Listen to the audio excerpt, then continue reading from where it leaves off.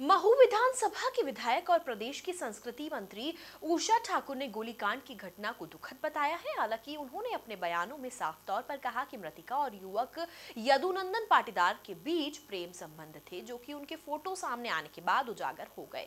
इसके साथ ही उन्होंने मामले की राजनीतिकरण करने के साथ ही लॉ एंड ऑर्डर के पालन के चलते पुलिस को बल प्रयोग का कदम उठाना पड़ा कहा।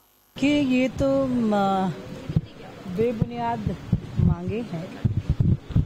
जो सच्चाई कल निकल कर सामने आई, आपने सोशल मीडिया पे वो फ़ोटो भी देख लिए होंगे। उस पाटीदार के साथ उसने शादी की थी और शादी के बाद लंबे समय से वो लोग वहीं रह रहे थे। और ये एक दुर्घटना थी कि वाटर हीटर से करंट लगा और उस कविता डावर का दुखद निधन हो गया। अब ये स्वाभाविक दुर्घटना थी जिसके लिए जो कुछ प्रशासन कर सकता था शासन कर सकता था उसने किया। और पोस्टमार्टम रिपोर्ट आने के बाद और भी सब कुछ स्पष्ट हो जाएगा।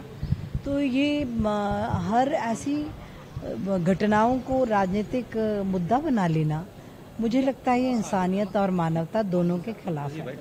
अब तो गलती से इकट्ठा हुआ भीड़ में अब ये तो दुर्देव या उसकी मौत आई थी, क्या कहें अब आप इसको बताइए कि वो जो भीड़ थी, वो एक बहुत ही अवैधानिक मांग कर रही थी। वो कह रही थी कि जिस पाटीदार को गिरफ़्तार किया, उसको हमारे हवाले करो, हम उसको यहीं मारेंगे। मौत का बदला मौत से लेंगे। अब पुलिस की मजबूरी थी कि वो अपराधी को उसके हवाले नहीं कर सकती थी। अब इस बीच में इतना संघर्ष हुआ कि उसको बचाने के लिए और पुलिस पे भी आप सोचिए कि मेरे टीआई की आँख घायल हुई है। तेरह पुलिसकर्मी घायल हुए हैं। बहुत ही विपरीत स्थिति में जाके गोली संचालन करना पड़ा और दुर्भाग्य से वो भेरू सिंह को जाके वो गोली लगी। हम सबको दुख है क्योंकि वो मेरी जो पंच हैं गवली पलासी की सावित्री बाई वो उसकी बड़ी माँ थी उन्हीं के यहाँ वो रहता था और मजदूरी करता था। तो जो कुछ सरकार कर सकती थी वो सरकार ने किया